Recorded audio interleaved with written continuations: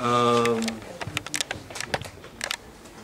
that's the camera back there. So can the camera come to me to do the presenting and then to him? Yeah. Yeah. We're ready to rumble. It's six past, no, it's one past six.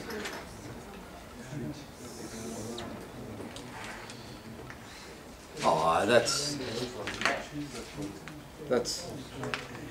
it's not fair. I've got a shiny head. Is that true? I don't see that. I'll give you some have to put on sunglasses. I'll give you some sunglasses. Okay, uh, welcome to our uh, master students here in Tarragona who are still coming in. Present with us today is Michaela Wolf, over there, from the University of Graz, specialist in sociological approaches to translation and associated social causes. We are once again attempting to go out via webcasting. So people outside are welcome to have a chat session in parallel and say whatever you like. We're all over the world. Uh, but we're still experimenting with it. We've discovered that the people outside can re- raise their hand and request permission to speak. So we can have voices coming in at us from beyond. We can block them as well. Uh, just a word of warning in the audience, we have Professor Even-Zohar again and Professor Chesterman, uh, who spoke yesterday. Uh, so we're hoping for some fireworks eventually. Without further ado, uh, Ismail, can you get the camera on Michaela? And we will start. You know I'm trying to do? He's trying to do, we're trying to sort out the camera system. You move number one over, you're on number two. Number two, don't move it, no, you, just move it left. Oh! No, no, don't, Number two. no, you're on number two. Just move the thing to the left. Yeah, yeah. Does it take? Yeah, yeah. Point it to the camera.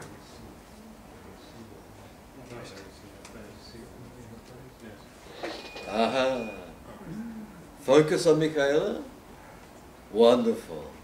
Stay tuned. It's all yours. Thank you very much for the presentation. And, and have to keep the microphone fairly close. That's the only thing we discovered yesterday. So my topic is very much related to the seminars I'm giving here. And uh, it's on the habitus, the translator's habitus, and I'm trying to give a critical account of the habitus concept and see how much it has been useful for now. Sorry?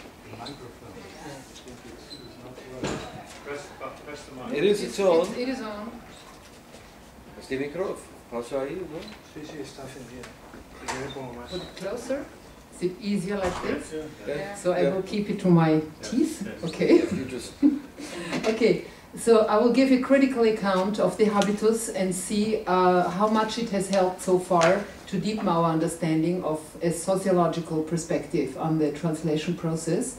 And first, I will give a critical, uh, not a critical, but a historical approach uh, account of it, then a critical uh, approach to it, and in the end, I will give a uh, present a short case study of a of an emerging and maybe already quite established habitus of the private of private translators in the last few decades of the Habsburg monarchy. So habitus is one of the key notions in French sociology. Since the publication of Daniel Simeoni's seminal article The Pivotal Status of the Translator's Habitus in 1998, at the latest, the, the, the concept has been accepted and it is without question and of extreme importance to the understanding of the translation process and its agents involved, both in epistemological and heuristic terms. The notion has thus a chance of advancing to becoming one of the central notions of translation studies, at least from the perspective of a sociologically oriented view of translation. In my paper, I will, as I said before, briefly sketch the habitus uh, in its history. I will highlight the main factors responsible for the term's potential for translation purposes and on the basis of a case study on the private translation sector, I will attempt, in the Habsburg monarchy, I will attempt to test the enduring claim of the translator's submissiveness uh, on the one hand, and to develop a differentiated view on the concept on the other, challenging traditional discussions of its informative value. The concept of habitus was introduced to modern usage by the German American art historian Erwin Panofsky from scholasticism and especially from St. Thomas Aquinas, who used the term to refer to the four intellectual virtues art, science, understanding, and philosophical wisdom, which are necessary for participation in society. For him, habitus occupies a sort of in between position it is a mediating force between potentia pura, potentiality, and the execution of an action, purus actus.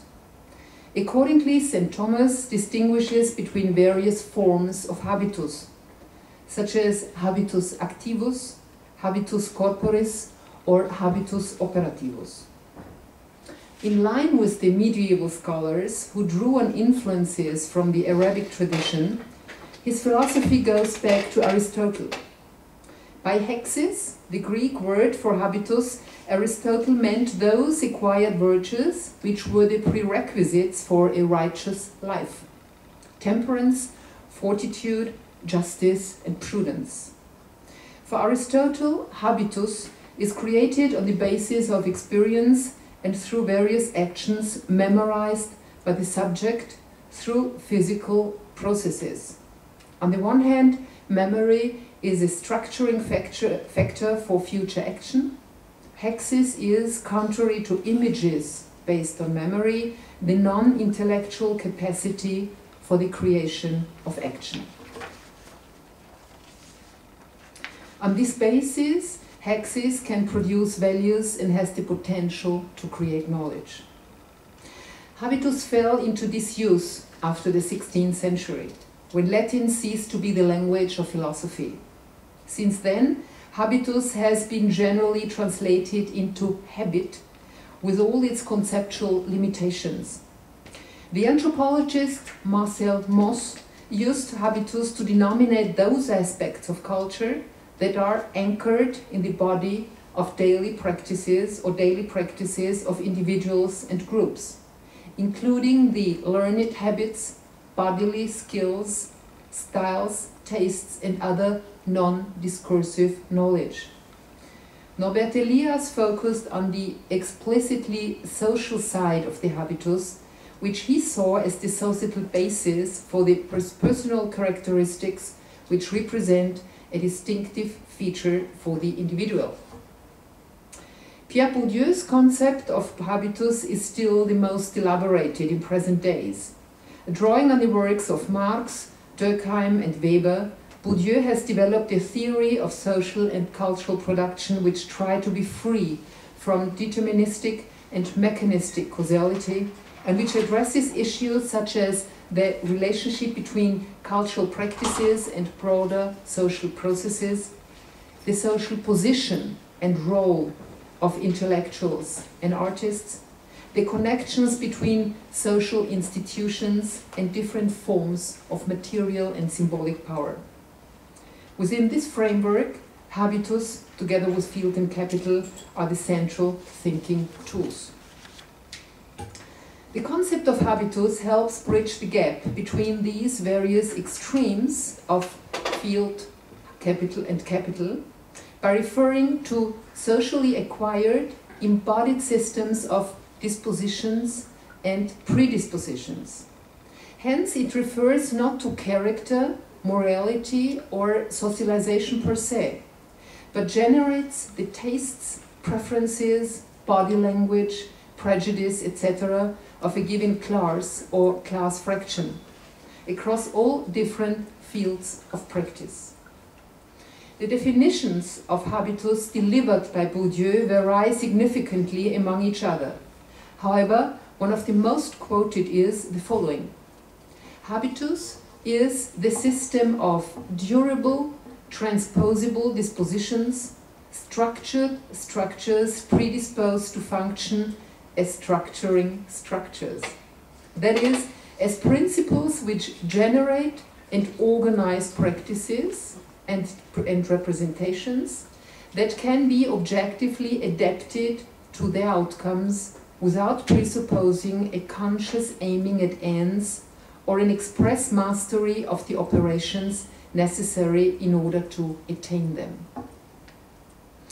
As can be seen, habitus is not thought of as a fixed essence, operating like a mechanism, determining mental or behavior, behavioral outcomes. On the contrary, Bourdieu, Bourdieu stresses that there is nothing mechanical about the relationship between the field and the habitus.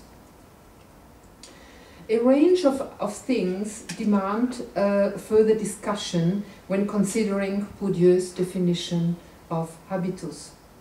The term of disposition, for example, which is used in most definitions in order to describe the nature of habitus, is more than attitude, is more accurately also it more accurately also includes the cognitive and affective factors of thinking and feeling.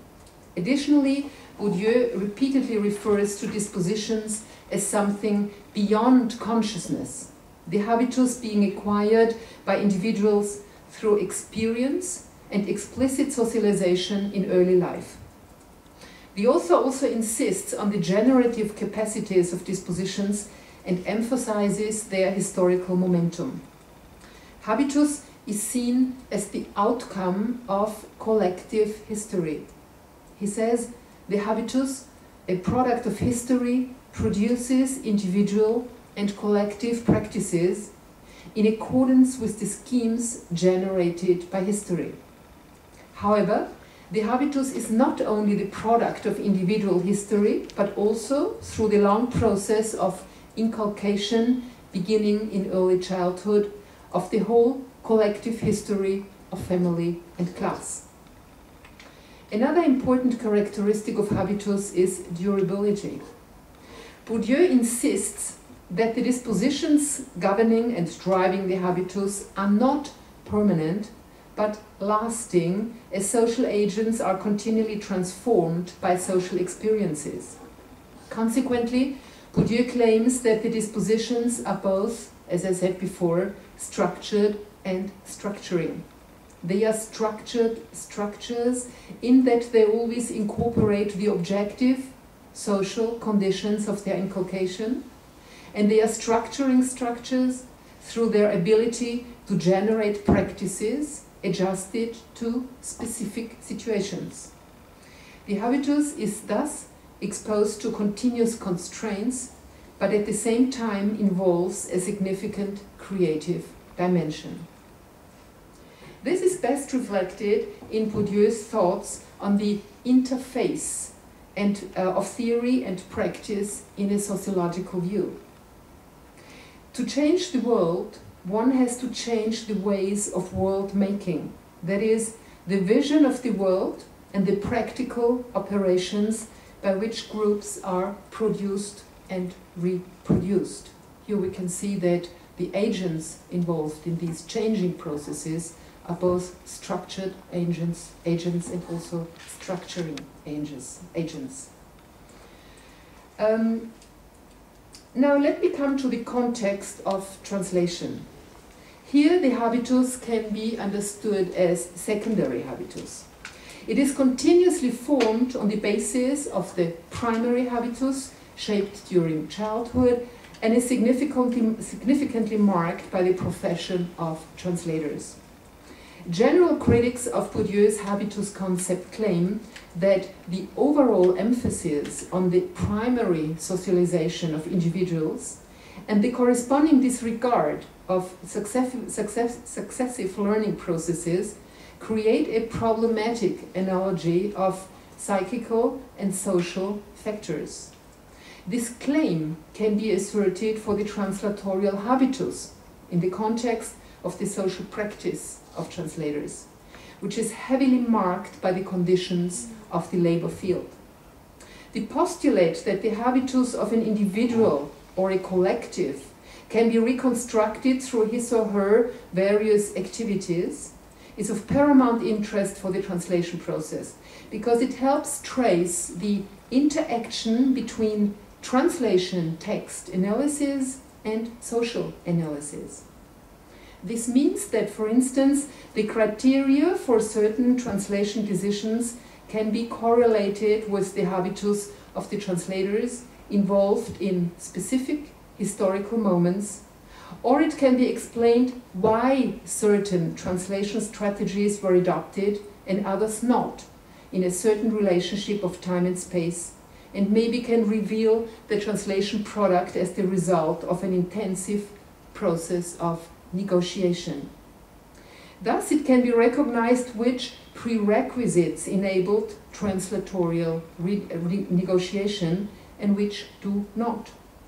This, on the other hand, reveals that the translatorial habitus not only results from social practice, but it can also create values and produce knowledge related to action. In such a way, its constructing aspect is uncovered and the potential for the manipulative component of translation is disclosed. Bourdieu's cultural sociology has been criticized from various perspectives. In the context of this paper, the critical observations by Bourdieu's major critic in France, Bernard Lahire, is of central importance.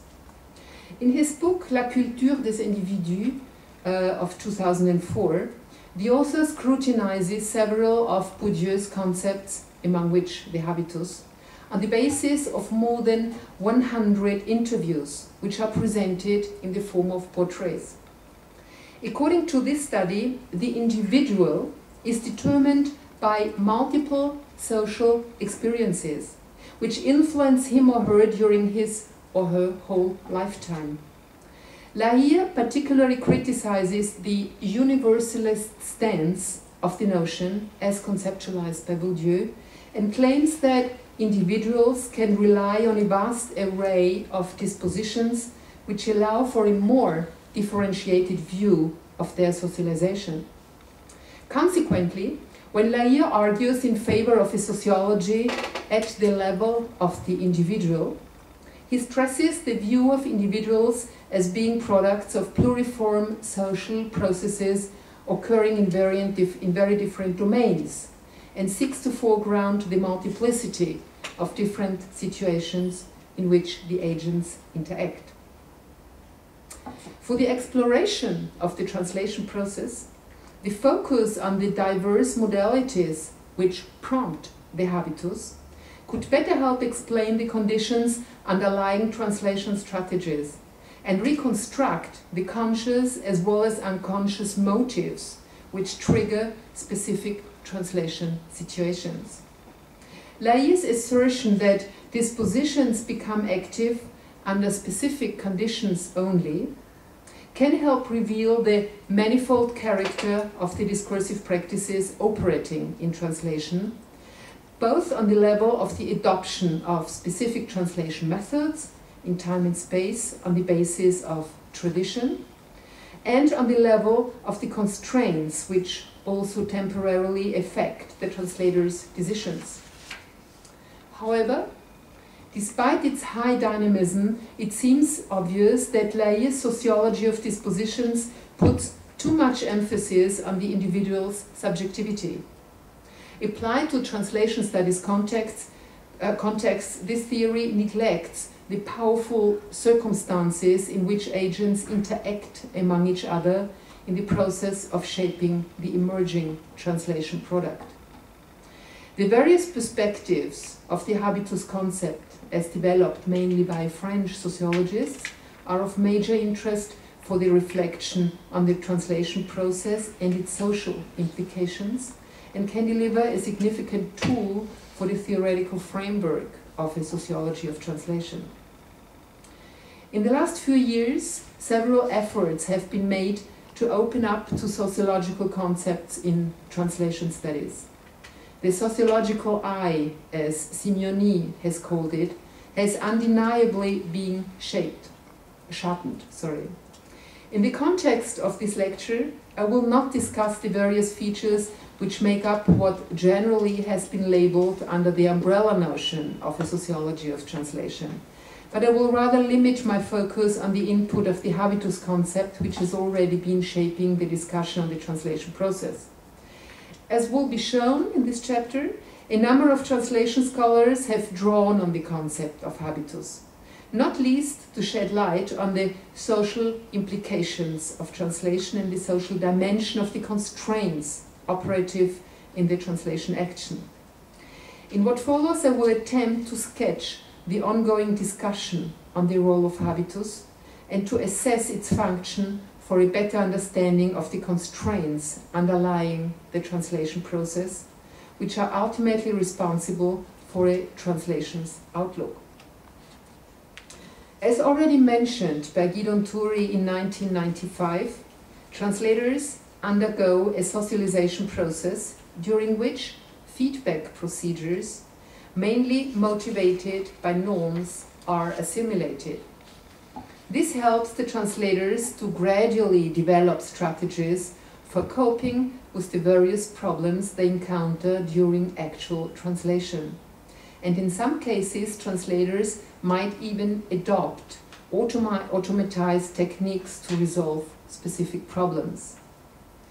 This is a quotation of Toury which deals with the conceptualization of these internalization processes. I'm not going to read it in detail. One of the first scholars who highlighted the importance of Bourdieu and the various categories of his cultural sociology for the study of translation was Jean-Marc Gouanvic. He repeatedly points out that Pierre Bourdieu's theory of cultural action can be widely applied to translation studies as it is a sociology of the text as a production in the process of being carried out, of the product itself and of its consumption in the social fields, the whole scene in a relational manner.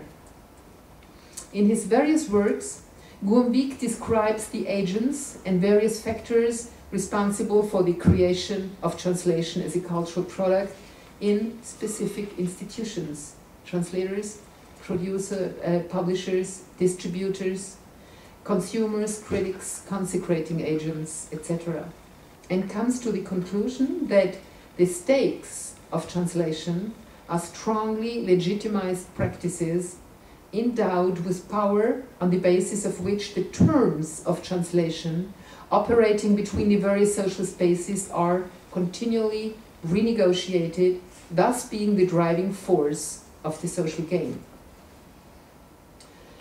According to their habitus, the social agents, translators in the present case, occupy a certain position in the social field they are operating in.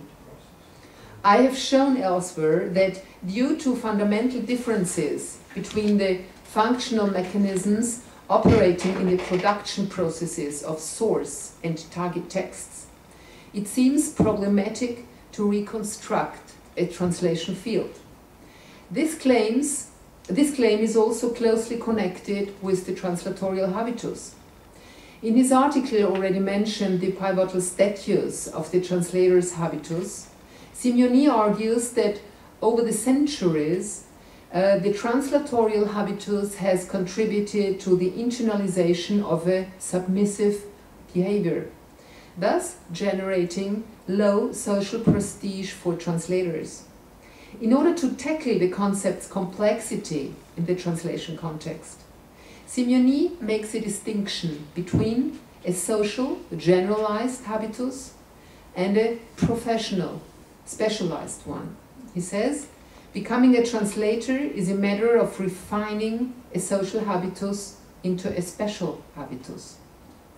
As Rakefet Sheffy has rightly pointed out, however, this classification delimits the concept inasmuch as it suggests to think the habitus as the specific skills and preferences employed in performing translations.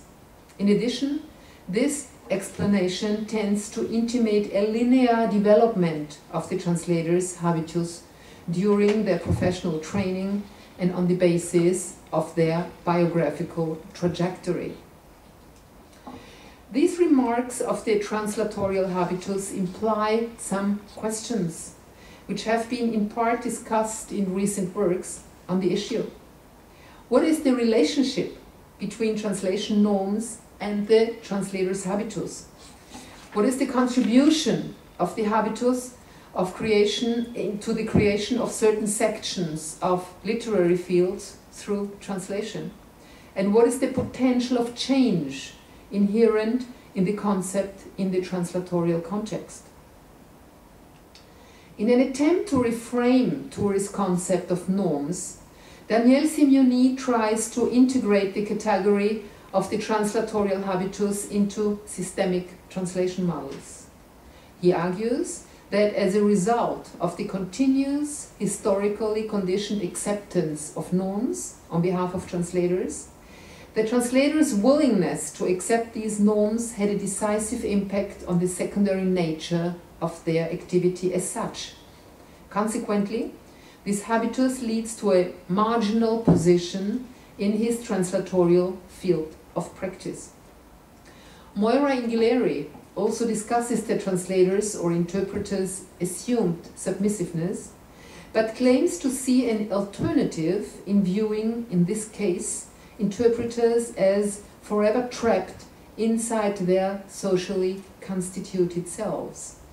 She elaborates a methodological framework for the analysis of community interpreting as norm-driven activity and focuses on the constructivist, constructivist nature of norms. This helps her to foreground the dynamics underlying the interplay of the distinctive and conflictual habitus of the agents involved in the process of community interpreting, which eventually makes up the logics of interpreting the interpreting situation. So it seems as if a sociologically informed translation and interpreting research, which emphasizes the crucial role of habitus, gives space to fine grain analysis of the translation practice and discloses the habitus interrelational character. Through the process of incorporation, it can be conceived of as a structured principle, while the process of generation entails its structuring principle. The notion's historical character is opposed to a rather ahistorically operating rules of social acting and instead implies constant alteration motivated by its creative capacity and resulting in new forms of behavior. In such a view, the translatorial habitus not only results from the translation practice and retroacts upon it, but can also produce values and knowledge developed from translation practice, thus revealing its constructive nature and the potential for a manipulative component of the translation process. Um, the analysis of the translations, translator's notorious submissiveness postulated by Simeoni has been in the center of a study I have conducted on the translation practice in the late Habsburg monarchy. My claim was that as early as towards the end of the 19th century, the translator's activity was already characterized by certain emancipating processes, which became evident not only in a, mere, in a more self-conscious behavior of translators, as manifested in the paratexts of their translations, but also in reinforced legitimation procedures in the field, like the creation of social networks, the open adherence to canonized authors, or the struggle for recognition in the field. An introspection into the private translation sector in the last decades of the Habsburg Empire seems particularly revealing for our purpose. Private translation bureaus had been increasingly present in the last 30 years of the 19th century. Der Viennese Address Book, Lehmanns Allgemeiner Wohnungsanzeiger für die K&K Reichshaupt- und Residenzstadt Wien, I will come back to it in a minute, includes the entries of such bureaus for the first time in 1876. I have brought with me some copies of two, in two years of 1898 and 1903, uh, which served as a basis for this study. I can circulate it if you want. Um, and just to explain in a few words what it is, thank you very much. This one and I, I just want to explain it. Um, this is a sort of address book for the whole Vienna of, um, of uh, for the whole city of Vienna. Um, and it includes not only private uh, addresses of private individuals, but also a sort of register of different um, enterprises, of different commercial firms, and so on. And it is very interesting that it also includes, first, um, language institutions, language institutes, where we can see which languages were taught uh, in Vienna, where you can, the, the you could learn languages. Then there is included a list, which is not now, these two things are not part of my study I present today. There is included a list of all sworn interpreters for the languages uh, spoken in the, um, in, the, in the, the, the Habsburg monarchy. And then we have um, an increasingly, uh, an always bigger, say more, um, um, uh, with more entries uh, from year to year. We have a list of translation bureaus uh, which starts in this, uh, in this address book in 1876 and ends in 1918 uh, with the end of the war, the, the war and the dissolvement of the dissolution of the, of the empire. So uh, on these copies you can see the entries which I have examined under various under various aspects which I will present in a minute. So these two are from 1898 and nine, 1903. Please. What do you mean by sworn? Sworn. Sworn interpreters. What do we call them? Jurados. Jurados. Jurados. Yes, I, I know the word, but what procedure? They were, yeah, they were working in tribunals. I don't know exactly what, I think the word is sworn interpreters. I don't know the word in, in State certified. They, they have to State certified. oath, Yes, but in front of whom? in front of the state, of the state and this, not the state, the, the state tribunal, the, the tribunals. Um, it's the same we have today, more or less. They are registered, you have to pass an exam today, and they are registered per language. And if there is a, in the, in the tribunal in, or in, in, in for, for translation, especially for interpretation, for interpreting, then they are called in and uh, they were, they had to swear they have at the beginning when they took over the two fingers. exactly the step finger. Scouts. Okay. Okay. But this is not the topic of my paper now. Okay, there is it's a different study. Um, so as you can see in this slide here, the regularly increasing number of entries reflects the growing demand for translations in the private sector. Interpretations were offered only in 4% of all entries. Most of them were offered, these announcements were offered for translation. Um, while in 1876 the Anzeiger, which is this address book, includes only one entry, this figure peaks at um, 37 in 1913, one year before the outbreak of the First World War. The total number of 718 entries comprises bureaus as well as individuals. 84% or 603 of them refer to male names, 4% or 30 to female names. 12% of the names could not be attributed to, due to abbreviations.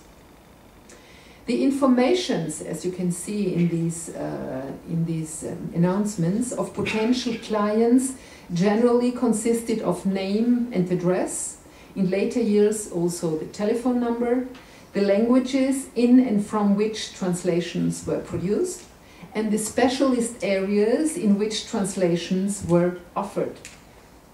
Regarding languages, it seems remarkable that only in the first years there is a certain limitation to the languages spoken in the Habsburg monarchy, which were already 10 languages. Very soon, however, we can witness a diversification in most Western European languages. Additionally, about one third of the entries indicate without specification that they offer all languages in the period under investigation. Translations into and from 20 23 languages were offered. Additionally to the list presented here, several language groups were offered such as Slavic languages, Romanic, Germanic or Eastern Asiatic. This table, however, is not particularly representative as nearly half of the entries did not include languages at all, but they say they were uh, translating and did not really offer uh, exact dates on which uh, languages they used. A glance, a glance at the number of languages offered by the translation bureaus reveals the obvious need for the languages in question. At this point, I would like to make a distinction between these translation bureaus and the individual translators, because of what you see here comprises both of them. 34% of all advertisements came from translation bureaus, and 66 of all advertisements were individual translators. Now, the distribution between individual translators and bureaus in terms of languages is quite significant. You can see it here. So this is the average of languages in advertisements of translation bureaus. You have uh, quite some shift. And the next slide shows the average of languages in advertisements of individual translators. So individual translators, as we can see, reveal a greater stability in their language offer, while translation bureaus reveal enormous oscillations. This might be due to a growing competition on the market and an ever increasing openness of the market. Um, in the first few years, the announcement consisted of only two or three lines, whereas in later years, the number of lines was on average about 20, 25. Towards the end of the period, under investigation, there were announcements with up to 60 lines. The special fields offered for translation are an important indicator for the translation sector's increasing diversification and professionalization. The largest number of services proposed for the clients is business correspondence, 126 offers, followed by technical texts, 120, and surprisingly, novels, 93. Very interesting that the advertisements say we translate novels. Equally diversified are the Bureau's suggested qualifications. In the first few years, the information was quite general. For example, businessman, journalist, or clerk. And at first sight did not seem closely related to the translation activity. In the second stage, the translators emphasize their linguistic skills by indicating that they are language teachers. After the turn of the century, translation-related designations became more frequent.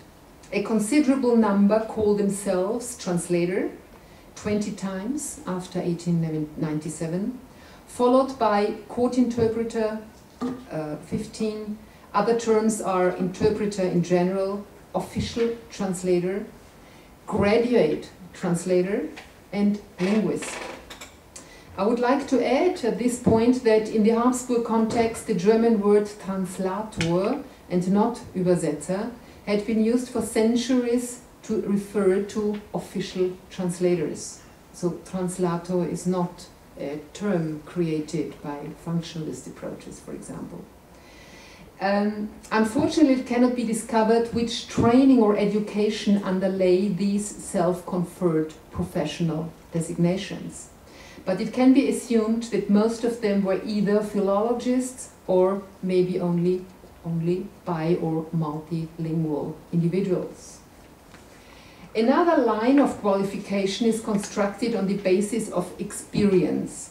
which stresses the feature of tradition, for example, ältestes und erstes allgemeines Übersetzungsbüro, oldest and first general translation bureau, and internationality, erstes internationales Übersetzungsbüro, first international translation bureau. This quality is further promoted through reference to long experience abroad and to pertinent professional experience acquired over many years, which is illustrated by, figure, illustrated by figures such as 160,000 translations since 1818. 18. This was an advertisement in 1900, so over 20 years. The focus on professionalism while executing the translation activity can be interpreted as an indicator of the translator's cultural capital. I quote, the prompt attendance of the Translation Commission is promoted as the prime necessity to accomplish the translation task and is expressed through formulations such as prompt at any time of the day or translation is being done immediately while the errand boy is waiting. Equally, the translators were keen in presenting symbolic capital, that is, their references, both in terms of their profession and their international reputation. Furthermore, the mentioning of both the translator's academic education and his or her, in some cases, excellent qualification seems particularly revealing for their position in the field. At any rate, 5% of all advertisements mention that the translation is produced in an academically correct way. 2% praise their cooperation of academically trained professional, professionals such as lawyers and doctors. And some of them stress that they not only uncritically translate from the dictionary. Equally, the description Vienna's only institute under academic management points to the effort to aim at a particularly high legitimation in the field. The last feature I would like to touch upon is the information on translation costs. Quite surprisingly, only 9% of all announcements include, the information, include information on the price. As late as in the beginning of the century, we can witness a more explicit competition between the translation bureaus with slogans such as extremely low prices, cheaper than everywhere, or very cheap depending on language and text. Especially the last slogan tells us that the translation bureaus obviously made an explicit distinction between the languages and the material they translated. On behalf of their selection procedures, they clearly ascribed a certain prestige to the various cultures involved, thus also more or less consciously contributing to their position in the field. So let me come back to the question whether we can detect a submissive habitus in the case study I've just presented. The incorporated cultural capital, which is under consideration with reference to the translation profession in the context of this case study, is closely linked to the habitus as this is seen as the result of the internalized competences of the agents involved in the game. However, the supposedly subservient and normative character of the translator's habitus cannot be generally assumed.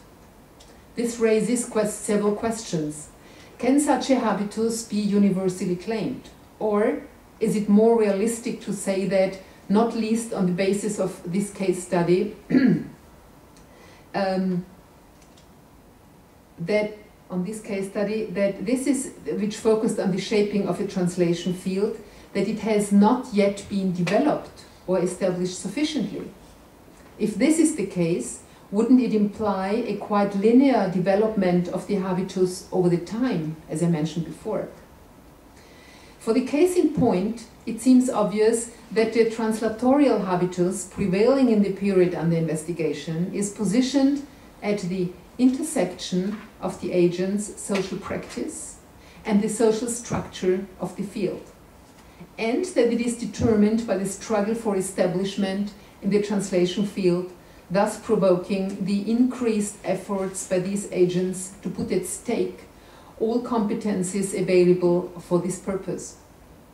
In more general terms, it can be stated that, also to varying degrees, in history and presence, the field is exposed to the rules of the market, and that also according to the forces conditioning these rules, the nature and especially the concentration of the capitals invested in the field vary from each other, thus entailing the shape of the whole field's structure. As the case study has shown, however, a professional habitus, being molded through experience and legitimation and struggling for recognition, additionally enforces the dynamics of the field and continually challenges the power relations inherent in this social space. What therefore seems imperative for the conceptualization of a habitus concept, relevant to the specific case of better understanding the functional mechanisms of translation and interpreting processes, is its consideration both within social situativeness and in connection with transculture specific aspects which take account of the habitus location in space and time. Thank you very much.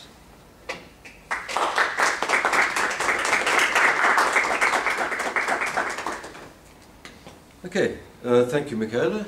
We have questions from the from the hall first, and then we'll go online. If you want to ask a question, probably the easiest thing is to come up and speak into one of these microphones.